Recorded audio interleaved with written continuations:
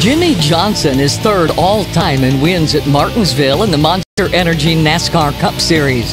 In 2007, he and Jeff Gordon had one of the best battles Martinsville has ever seen. Gordon caught him late and had tried to move him several times. Of course, he was doing so as politely as he could, knowing Johnson was his teammate.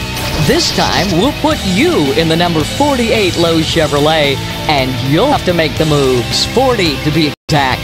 With 10 laps to go, let's see if you can go from worst to first and take home the victory.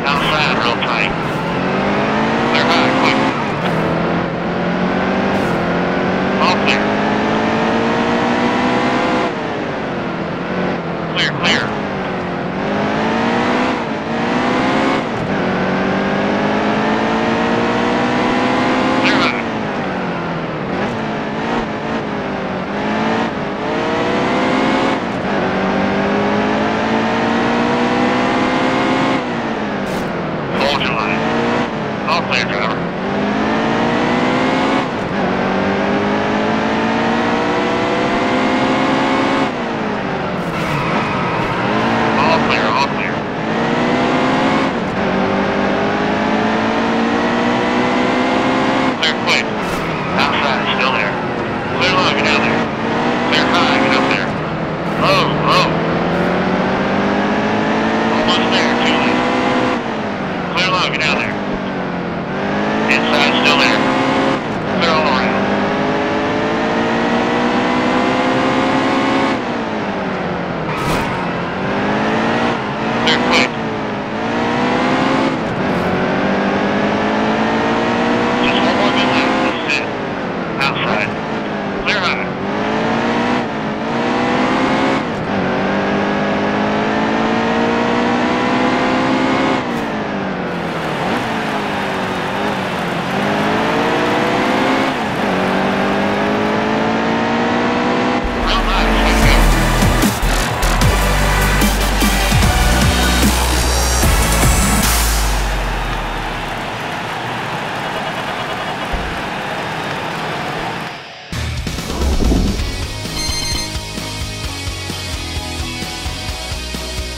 Perfect lap around Martinsville.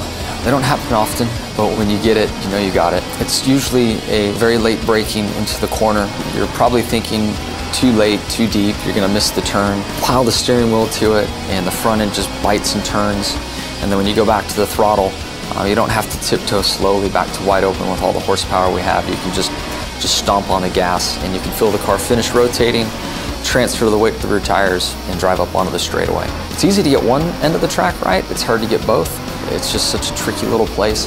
But if you can ha have it happen at one and two and in three and four, uh, you've hit the perfect lap.